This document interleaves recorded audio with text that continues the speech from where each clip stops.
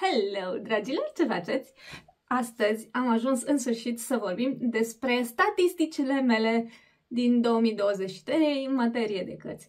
Pentru că mie nu mi-a plăcut statistica la master, am urât-o, chiar mi-a fost foarte, foarte greu cu ea, dar când îmi ține cineva o evidență statistică și mi-arată niște grafice și mi-arată cam cum au evoluat uh, nu știu, o situație din punct de vedere statistic, sunt foarte încântată și astăzi ne vom ocupa de cărți și am să vă arăt cam cum a decurs uh, 2023 din perspectiva cărților, pentru că nu prea am vorbit despre treaba asta, am tot fofilat, am tot vorbit despre alte lucruri, am tot făcut alte chestii și am vorbit despre alte cărți și alte subiecte, dar n-am vorbit efectiv de statistica lui 2023 și am ajuns să-l disecăm și pe 2023. Și în cazul în care n-ați văzut, o să vă las clipul de anul trecut, pe care l-am făcut tot cu aceeași chestie, ca să vedeți diferențele, pentru că eu cred că sunt niște diferențe majore doar în anumite puncte, nu peste tot. Sunt puncte care au rămas la fel și o să discutăm. Dar, da, mi se pare interesant să te uiți așa în urmă și eu folosesc două platforme, după cum știți, pentru a monitoriza cărțile pe care le uh, uh, citesc și folosesc Goodreads-ul în general și Goodreads-ul pentru mine este o platformă foarte plăcută unde uh, mă uit să văd ce citește lumea, țin evidența cărților, dar Goodreads-ul mi se pare că nu este foarte amănunțit în ceea ce privește statisticile, iar pentru statistica efectivă folosesc Storygraph. Storygraph pe care nu stau decât ca să-mi fac eu însemnările mele, adică să-mi pun cărțile, ce am citit, cum mi s-au părut, să dau ratinguri și atât. Nu, uh, acolo n-am prieteni, nu discut cu nimeni, nu mă uit la review-uri, nu mă interesează recomandări, nu mă interesează absolut nimic în materie de ce e pe StoryGraph. Deci tot ce ține de socializare în materie de cărți uh, e rezervat pentru Goodreads, de aia dacă vreți să fim prieteni pe Goodreads aveți linkul în descriere și hai să încep. În primul și în primul rând mi-am uh, propus ca pentru... O vedeți? Suferă. Suferă foarte tare.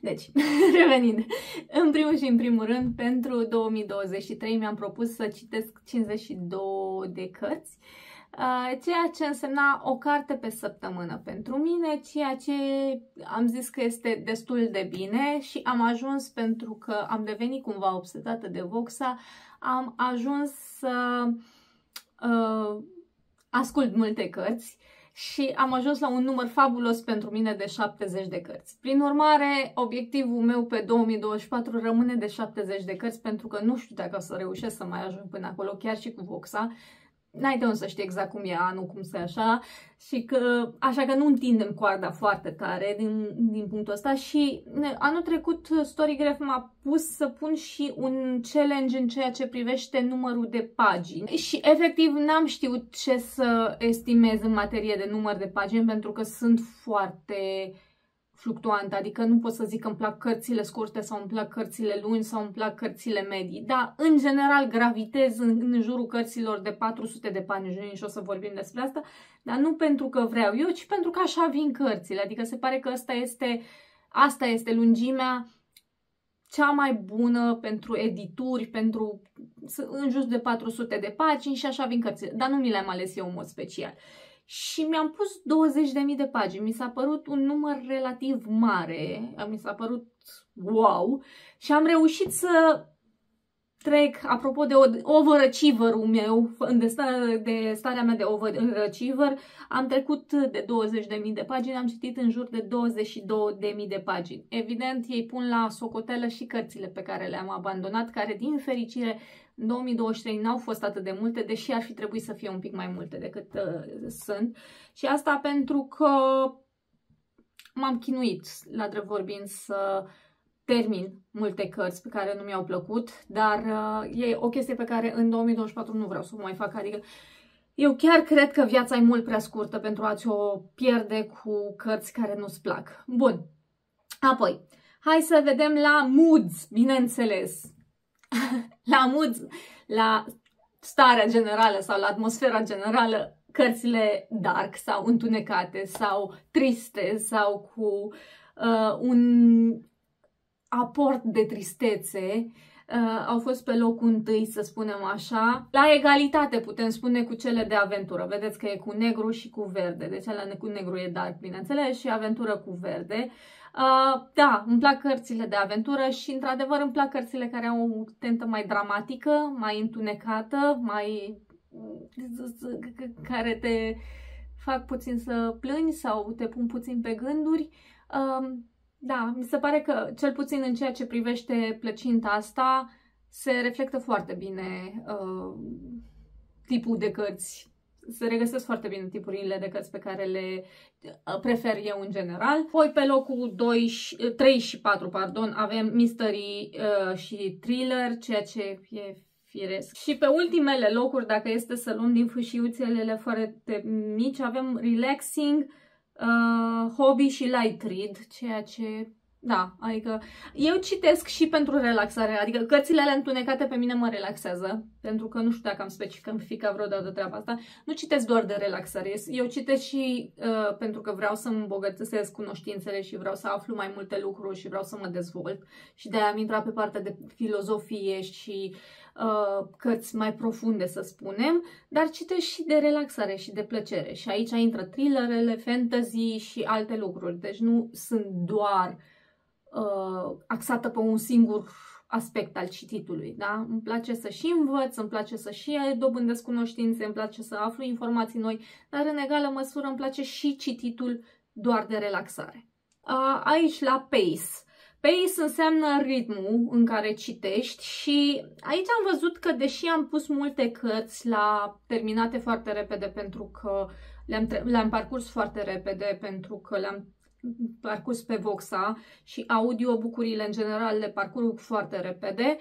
Um, am văzut că StoryGraph totuși le pune unde consideră el, în funcție de majoritatea voturilor, adică nu le pune unde spun eu. Am văzut că la medium pace, la un, un ritm mediu, au pus uh, multe cărți pe care eu le-am pus la ca terminate foarte rapid, adică într-o zi, două. Uh, ceea ce e surprinzător, dar mă rog, așa consideră el, dar da, foarte posibil ca mare parte din cărțile pe care le am eu, uh, pe care le-am parcurs eu, să fie de un ritm mediu. Uh, da, nu știu să evaluez chestia asta. În general, când sunt cărți care au un ritm lent, le abandonez pentru că mă plictisesc. Mă enervează și nu pot cu ei. Apoi, la numărul de pagini. Așa cum am zis, cea mai mare parte a cărților citite de mine și asta nu pentru că așa mi le-am ales, ci pentru că ăsta e formatul cel mai popular, sunt cărți între 300 și 488 de pagini, îmi zice StoryGraph, adică 54%. Da, bănuiesc și eu că este așa. Avem și un procent destul de mare de 38% de cărți sub 300 de pagini și aici cred că este influența cărților scurte pe care le-am citit mai ales pe final de an și cărților de filozofie sau cărților cumva cu mai multă substanță, dar care sunt foarte subțiri. Uh, și diferența este de cărți de peste uh, 500 de pagini, dar uh, mai ales la cărțile fizice, aici mă feresc dacă se poate, mă feresc de cărțile foarte, foarte lungi, pentru că dacă sunt fizice și sunt foarte, foarte lungi, um, obosesc. Obosesc și mă, există riscul să mă plictisesc, așa că, așa că le evit. Nu le voi evita în totalitate pentru că am niște monstrules pe acolo pe care îi așteaptă anul ăsta. Îi așteaptă... Uh, le vine rândul anul ăsta și nu o să pot să evit la sfârșit, dar în general da. Și cărțile de până în 500 de pagini și eu, mi se par că au lungimea potrivită astfel încât să se dezvolte acțiunea, să intri în poveste, să te lipești puțin de personaje și după aceea să se întâmple ce e de trebuie să se întâmple. Apoi, avem raportul de ficțiune și non-ficțiune și câștigă detașat ficțiunea, pentru că, da, îmi place foarte mult uh, să citesc și uh, ficțiune și aici la ficțiune intră fantasy, uh, toate cele, aventură, ficțiune istorică și așa mai departe, tot ce am citit eu anul ăsta. Și la non-ficțiune, evident, vor intra cărțile alea de self-help în care am mai intrat sau filozofie sau lucruri de genul ăsta de dezvoltare uh, Uh, și da, au fost într-adevăr într-un procent mai, uh, mare decât anul trecut și chiar ăsta e graficul care mă interesează față de 2022, cel mai tare dintre toate, ăsta e graficul. Um, da, în 2023 am avut 13% cărți de non-ficțiune și în 2023 am avut 20%, deci am urcat puțin, am urcat puțin în partea de non-ficțiune și asta e bine pentru că mai includem un pic de cultură generală, mai includem un pic de cunoștințe și așa mai departe. Apoi, la genurile literare pe care le-am preferat anul ăsta, pe primul loc este Uh, ficțiune, zice Storygraph, cred că prin ficțiune se referă la ficțiune literară, deși până la urma urmei totul poate fi considerat ficțiune literară din partea de uh, ficțiune. Așa că, da, nu știu exact ce vrea să însemne acest raport, dar după aceea câștigă detașat thrillerul și fantasy. Vă, vă miră, vă miră, deci nici că uh, poate să vă mire uh, graficul ăsta. Ia chiar sunt curioasă în 2022 cum a fost. Uitați, uitați ce diferență e față de 2022. În 2022 am, au fost pe primul loc clasici și asta pentru că am încercat să citesc mai multe cărți clasice în 2022. După aceea Young Adult, a, tot fantasy aș pune la Young Adult și după aceea romance. Asta pentru că am avut challenge-ul la idiot când am încercat să citesc cărți de romance și mi-am, mi-am tăiat venele, aproape că mi-am tăiat venele, uh, dar uh, da, a fost interesant, nimic de zis, dar m-a chinuit la momentul respectiv challenge-ul ăla. Dar ce diferență este și, bine, oricum numărul de cărți este mult mai mic în 2022 față de 2023, față de 70 de cărți, adică Hello. Aici, la formatul cărților, aici este o mică chestie că nu mi-am bătut capul și nu știu exact cum să notez pe StoryGraph că o anumită carte este audio sau este în format fizic. Uh, le interpretează storygraph-ul random și vă spun eu că aproape o treime din cărțile pe care le-am citit au fost uh, audio. Și formatul electronic la mine înseamnă exclusiv audio pentru că nu-mi place să citesc pe laptop, pe telefon, pe tabletă, pe astea, nu. Așa că pentru mine formatul electronic înseamnă exclusiv audio, de-aia îmi place Voxa foarte tare, de-aia uh, sunt atât de prietenă cu platforma asta. Dar uh, în rest nu, nu, uh, uh, nu, nu citesc în alt format electronic și cam procentul este de o treime, vă zic eu, din uh, cele 70 de cărți, cam o treime așa se duce spre varianta electronică.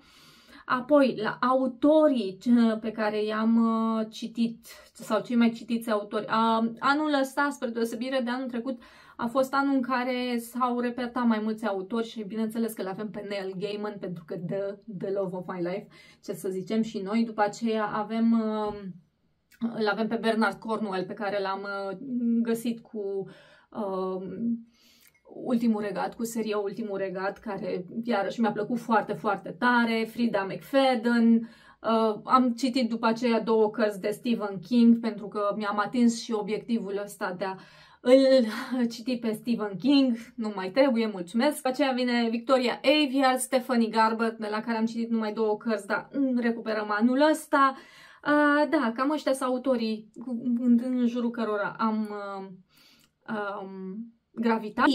În ceea ce privește limba, Aici iarăși este o chestie random a Storygraph pentru că statistica nu e chiar așa. Mm, sunt multe cărți pe care pe Storygraph nu le-am găsit decât în engleză, nu le-am găsit și în varianta din română, n-au fost înregistrate în varianta din română și de aia procentul e atât de mare. Cred că procentul de cărți în engleză este mare, dar nu cred că este atât de aproape de 50% cum este aici. Mm, cred că este un pic totuși mai micuț. Adică eu nu am o problemă, adică pentru mine nu mai e o problemă, orică e în engleză, orică e în română, o carte nu mă deranjează, uh, mai ales dacă e audio chiar n-are nici cea mai mică importanță. Dar uh, nu cred că e atât de mare procentul de cărți în engleză totuși, pentru că știu că au fost câteva cărți bune pe care nu le-am citit în română și nu le-am uh, nu le-am găsit pe StoryGraph în română. Și apoi vine graficul meu preferat, cu statistica paginilor și cărților pe lună, cam cum arată graficul pe lună și pe laptop trebuie să vă zic că arată mai bine graficul decât este mai spațios, așa se vede mai bine decât uh, pe telefon, dar ori și cât graficul ăsta îmi place foarte tare. Ăsta este graficul cel mai satisfying pentru mine dintre toate, așa și când mă gândesc la statistică, mă gândesc la genul ăsta de grafic, pentru că îți arată cam cum a fost cititul pentru tine pe luni, numărul de pagini și lunile și se pare că în ianuarie și în iunie, sau iulie, iu, iu, iunie, da, în ianuarie și în iunie mi-a mers cel mai bine și în decembrie, evident, am citit și în decembrie mult. Ianuarie și iunie au fost cele mai bune luni ale mele în materie de citit. După aceea să văd și uh, acele uh, reading slam-uri pe care le-am avut două mari anul ăsta, în 2023, da, le-am avut în aprilie 1, a fost crunt, și uh, după aceea mai spre toamnă, așa, în în septembrie când am citit, dar n-am citit foarte mult, adică să, să simte, adică să, uh, să vede cum se duce graficul jos, să îngroapă, dar uh, da, asta v-am zis, ăsta e graficul care îmi place foarte mult și pe ăsta l-aștept uh, și anul ăsta, la final de 2024, abia aștept să văd cum o să arate. Ia chiar să vedem o mică diferență între ăsta și cel din 2022. Just for fun dacă mi-ar merge mouse-ul.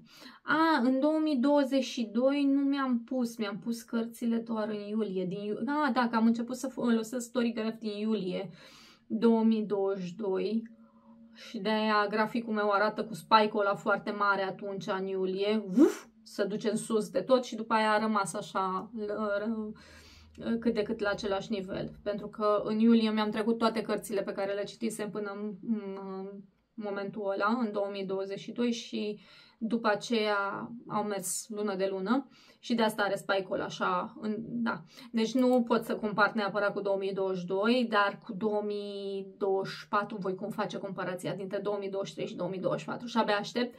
Și um, um, dezvoltarea grafică pe note. Uh, după cum știți, eu nu dau. StoryGraph îți permite să dai și fracțiuni de notă, adică 4,50, 3,50, 3,25 și așa mai departe.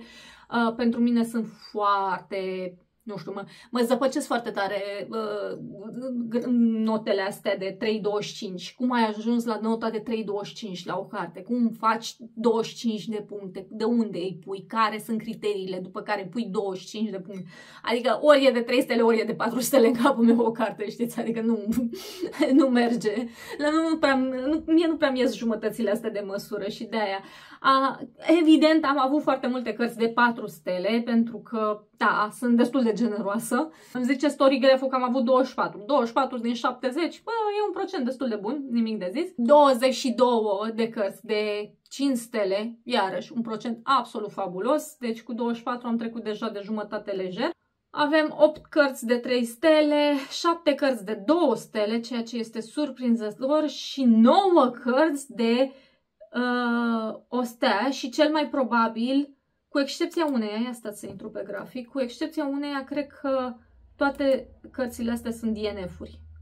Da, deci una, două, nu, două, două cărți le-am uh, terminat din astea nouă.